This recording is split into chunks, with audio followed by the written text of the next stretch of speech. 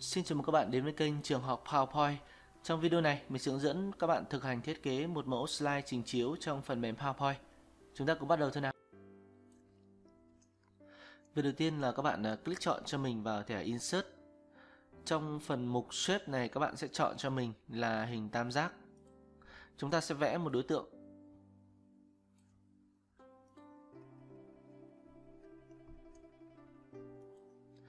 Việc đầu tiên là chúng ta sẽ tạo ra những cái đường căn cho đối tượng này. Các bạn sẽ giữ phím Ctrl đưa cái con trỏ chuột vào cái đường căn này nhé. Chúng ta sẽ kéo lên bên trên một cái đường căn. Phía bên trên này chúng ta sẽ đặt logo. À, để bật được cái đường căn này các bạn vào thẻ View trong nhóm lệnh sâu các bạn click chọn cho mình trong phần guide này nhé. Thì nó sẽ hiện ra cái đường căn. Tiếp tục là chúng ta tạo ra thêm hai đường căn nữa về phía góc bên tay phải. Tiếp tục là giữ phím Ctrl để tạo ra thêm một đường căn nữa. Ờ, sau khi xong thì các bạn vào phần thẻ lệnh Insert, chọn cho mình Shape. Chúng ta sẽ vẽ một hình tam giác.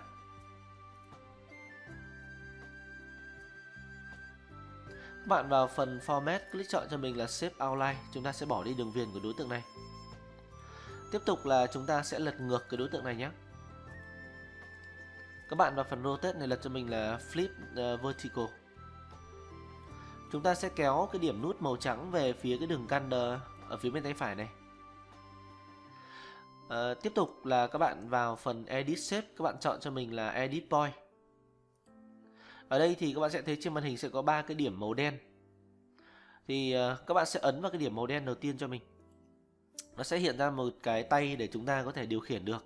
Thì chúng ta sẽ kéo cái tay này về phía bên dưới.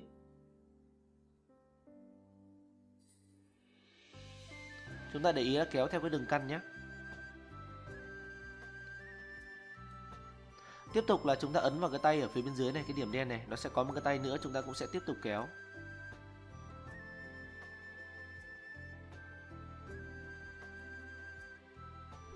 Và sau đó thì khi mà chúng ta kéo thì nó đã cân đối rồi. Thì các bạn sẽ ấn ra bên ngoài. Thì chúng ta đã có được một cái đối tượng đầu tiên.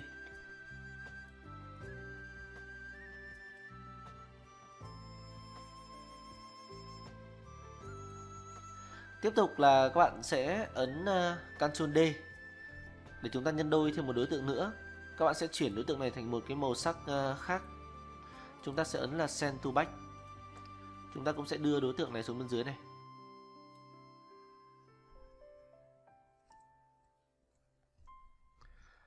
Các bạn sẽ phóng to cái đối tượng này hơn cho mình một chút. Chúng ta sẽ đặt vào đây.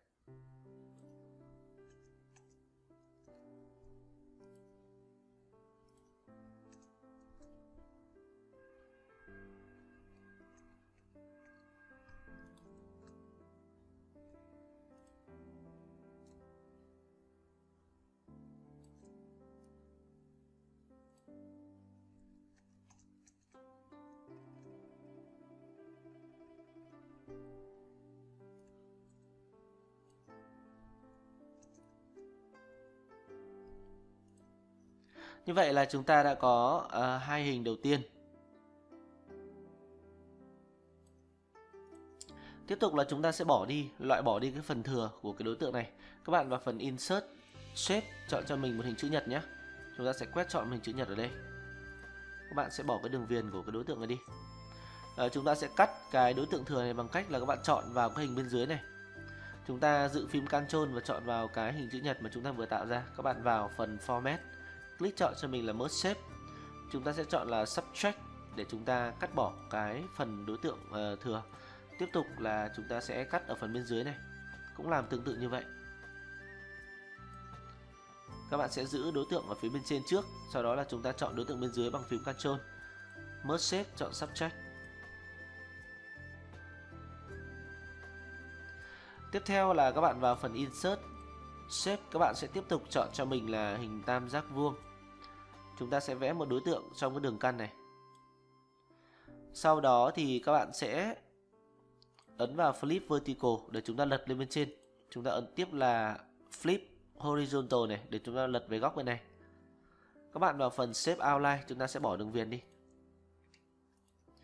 Chúng ta vào phần Format, click chọn vào Edit Shape, chọn vào phần Edit Point ở đây cũng sẽ tương tự là chúng ta có ba cái điểm nút màu đen, các bạn ấn vào cái điểm nút đầu tiên. Chúng ta sẽ kéo cái điểm nút này.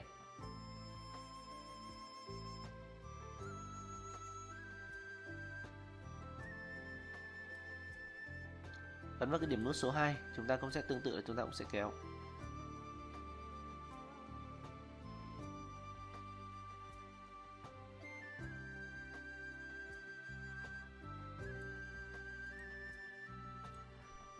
Sau khi mà chúng ta kéo xong các bạn ấn Ctrl C, Ctrl V Chúng ta sẽ tạo ra thêm một đối tượng nữa. Các bạn thu nhỏ lại một chút cho mình.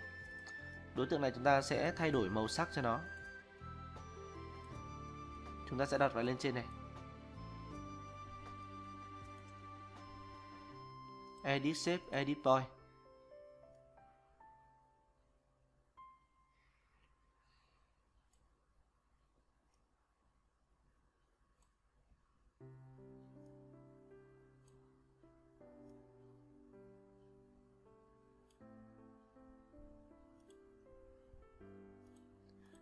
Như vậy là chúng ta đã xong cái phần bố cục.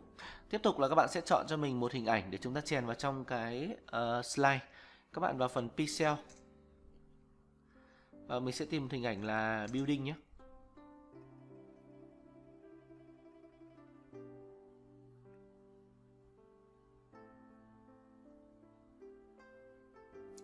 Ở đây thì mình sẽ chọn hình ảnh này nhé. Các bạn sẽ ấn vào phần ờ, download này chúng ta chọn một cái hình ảnh có cái kích thước ờ, khoảng 1280 nhân với 853 pixel. Sau khi download về xong thì các bạn sẽ vào phần PowerPoint. Các bạn vào thẻ lệnh Insert, click chọn cho mình trường phần Picture. Chọn This Device này. Chúng ta sẽ tìm vào thư mục là Download. Các bạn chọn cái bức ảnh mà chúng ta vừa tải về. Sau khi mà bức ảnh được đưa vào trong cái slide, các bạn ấn vào phần là Crop trong nhóm lệnh size của thẻ format nhé. Các bạn chọn cho mình là aspect ratio để uh, chia lại cái tỷ lệ cho cái bức ảnh này là 16.9 thì các bạn sẽ thấy là bức ảnh sẽ được chia theo cái khung hình của cái slide. Và chúng ta sẽ đặt cái bức ảnh này. Chúng ta sẽ giữ phím shift và kéo hình ảnh này để cho nó cân đối. Sau khi xong thì chúng ta sẽ chuột phải chọn vào phần là send to back để đưa hình ảnh này xuống bên dưới đó. Sau đó thì chúng ta sẽ đổ màu cho cái đối tượng này. Các bạn sẽ chọn cái hình tròn bên trên này nhé. Chúng ta vào phần Shape Fill, các bạn chọn cho mình là phần eyedropper là cái bút chỉ chấm màu này này. Chúng ta sẽ chọn một cái màu sắc trên bức ảnh. Tiếp tục là với cái đối tượng bên dưới này, chúng ta cũng sẽ Shape Fill chọn một màu sắc. Tương tự như vậy là với hai đối tượng còn lại. Tiếp theo là chúng ta sẽ chèn text vào trong đối tượng này. Các bạn sẽ uh, tạo cho mình một cái đường căn về phía bên tay trái nhé. Uh, lưu ý là cái đường căn thì các bạn sẽ để ờ, cái con trò chuột ra bên ngoài thì chúng ta sẽ kéo được đường căn nhé vì chúng ta đang có cái đối tượng thiết kế ở trong slide rồi. Uh, các bạn vào phần thẻ lệnh insert text box để chúng ta chèn chữ vào trong slide.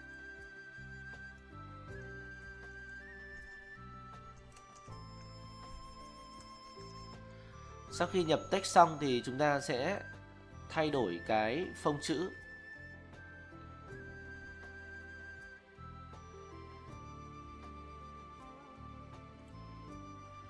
Các bạn sẽ phóng to cái phông chữ này lên.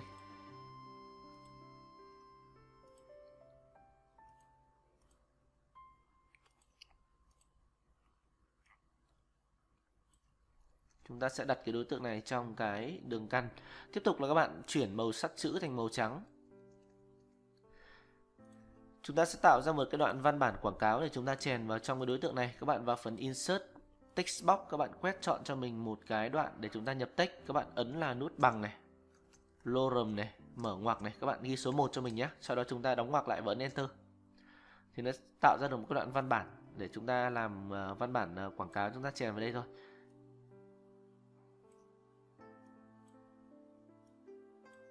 sau khi xong thì các bạn sẽ chuyển về màu trắng. Và sau đây chúng ta sẽ chèn thêm một cái mẫu logo vào trong cái sản phẩm này. Các bạn vào à, Google nhé. Các bạn search cho mình một mẫu logo uh, làm mẫu thôi.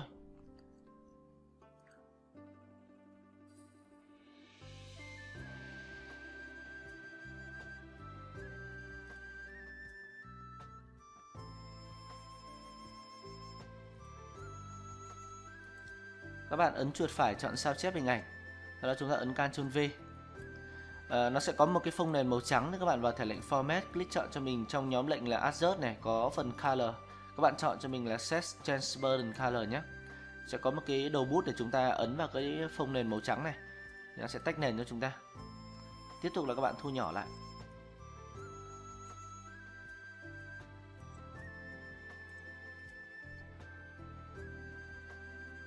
Rồi và như vậy là chúng ta Ờ, đã thiết lập xong phần bố cục. Sau đây thì chúng ta sẽ cài đặt phần hiệu ứng cho cái đối tượng này. Các bạn vào phần thẻ lệnh Animation này. Chúng ta sẽ chọn một cái hình ảnh. Sau đó các bạn chọn cho mình hiệu ứng nhé. Ở đây mình sẽ chọn là Face này. Đó. Tiếp tục là chúng ta sẽ chọn hai cái đối tượng này.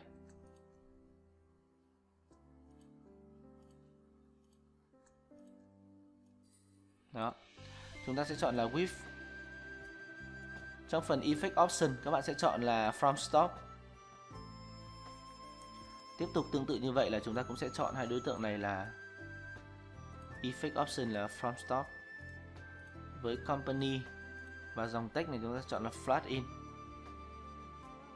Các bạn bật cái bảng animation pen lên.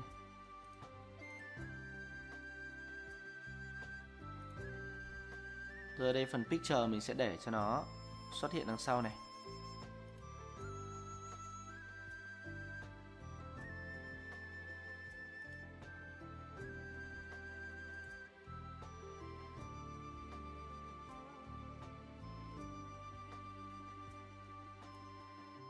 bạn click chọn cho mình là phần ờ, Start with Previous là cái logo này sẽ tự động xuất hiện nhé.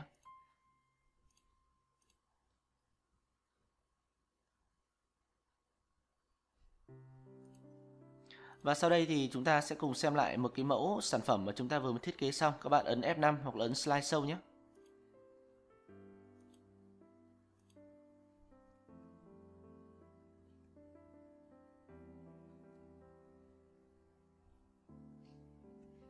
Và như vậy là trong video này mình đã từng bước để hướng dẫn các bạn thiết lập một cái mẫu slide trình chiếu trong phần mềm PowerPoint. À, nếu các bạn thấy video này hữu ích thì hãy bình luận, like và subscribe để ủng hộ kênh. Xin chào và hẹn gặp lại. Yeah.